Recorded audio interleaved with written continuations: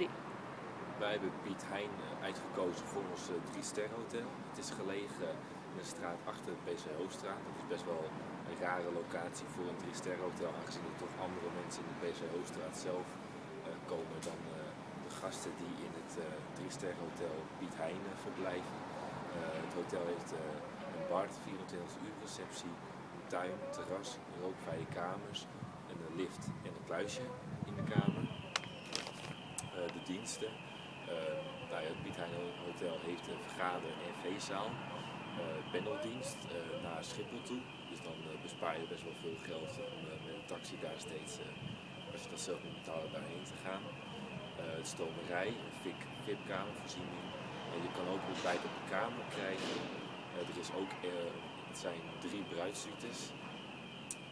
en je kan gebruik maken van een fax-kopieerapparaat daar wifi is daar gratis. Dat is best wel een groot voordeel aangezien we net ook al vertelden bij het Alcura dat het dan 12 euro per uur kost. Nou dat is best wel veel, dus daarom is het voor toch wel een pluspunt bij het Piet Hein Hotel dat het daar gratis is.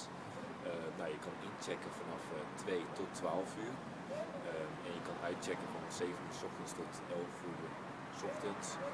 Ehm, je kan ook een kamer bijboeken. Dus als je bijvoorbeeld maximaal 11 uur ochtends al uit wilt checken, maar je vliegt pas 10 uur avonds, kan je een kamer bijboeken voor 30 euro per uur. Zodat je toch jezelf uh, nog kan douchen en uh, om kan kleden en toch nog van je dag kan genieten. In plaats dat je met je bepakte spullen door Amsterdam